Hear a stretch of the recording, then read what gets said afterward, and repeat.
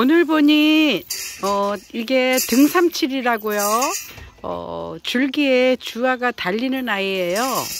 어 뿌리는 개근이고요. 어 이 아이는 어 지금 제가 한 8, 9년 키우는 아이입니다. 올해 요 두 화분에 어, 꽃이 엄청 많이 왔어요. 오, 요 아이는 골절에 좋다는 그런 어, 이야기가 있고요. 어, 우리나라에서도 이게 어, 자라고 있지만 어, 중국 동남부에서 많이 번, 번식을 하는가 봐요. 저는 이거를 어, 한 7, 8년 전에 우리 어, 꽃카페 지인한테 나눔을 받았어요. 조금이요. 그런데 조금이 뭐냐면은 손가락, 새끼손가락만한 그런 아이 구근을 하나 선물을 받은 거예요. 그 아이가 이렇게 많이 번식이 됐답니다. 어, 조금 아까 제가 어, 이 구근을 이렇게 치웠는데 어, 주화가 이런 식으로 이렇게 다, 달립니다. 어, 뼈에, 뼈에 다쳤을 때 그때 먹으면 좋대요. 이게 바닥으로 떨어진 거 보니까, 어, 이제 요 안에가 꽉 찼나 봐요. 올 가, 겨울에는 화분을 정리를 좀 하고 이 아이들도 다시 신고 해야 되겠습니다. 여기 다시 올리고요. 꽃은 이렇게 어, 작은 꽃들이 졸졸 이렇게 달립니다.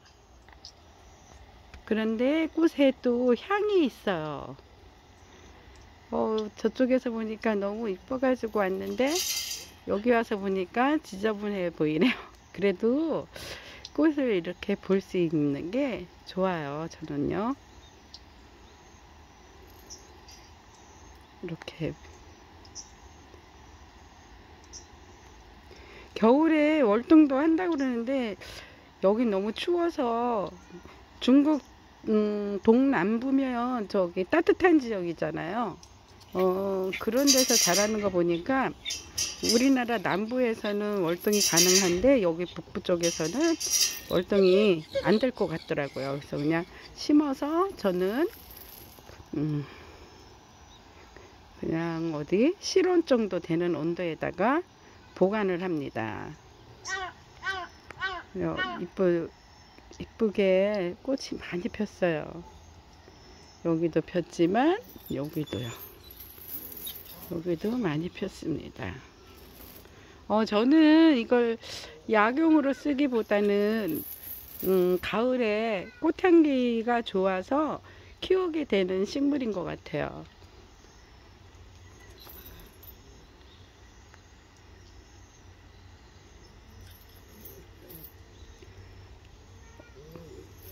축축 늘어져 가지고 이렇게 피는 게 이쁘죠 작은 꽃들이 모여 가지고 이렇게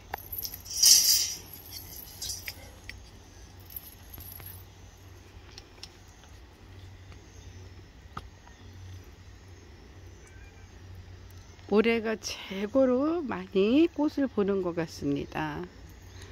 어, 원래 하나분이었는데 어, 여기서 주화가 저쪽 화분으로 넘어갔나 봐요. 그래서 두 화분이 되었어요.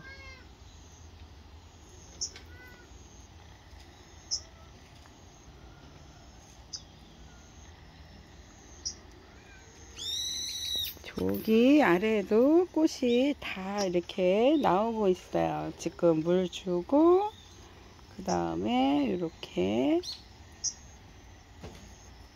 여러분에게 보여드리는 거랍니다.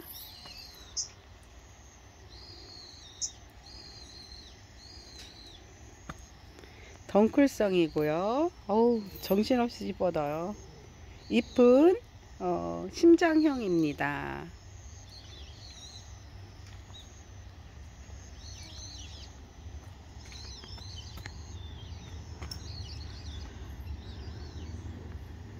이렇게요. 오, 엄청나죠? 한참 꽃을 구경할 것 같습니다. 제가 그때 향기를 맡았을 때는 계피 향이 나는 걸로 느꼈었거든요. 음, 맞네. 음, 향기 좋고요. 어, 여기 지금 사마귀 순놈이 놀러 왔네요. 이렇게요. 저를 쳐다보고 있네요. 덩쿨성 식물 등삼칠이라고 합니다.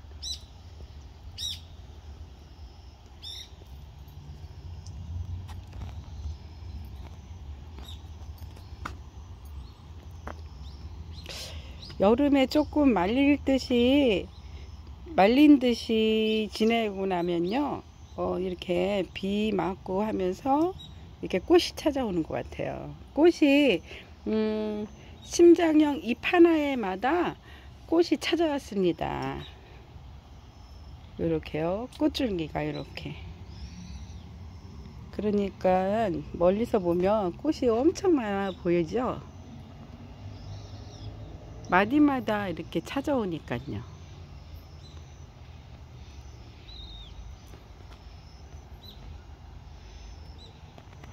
어, 검색을 하셔서 한번 이 등삼칠에 대해서 한번 알아보시는 것도 재미있죠. 등삼칠입니다.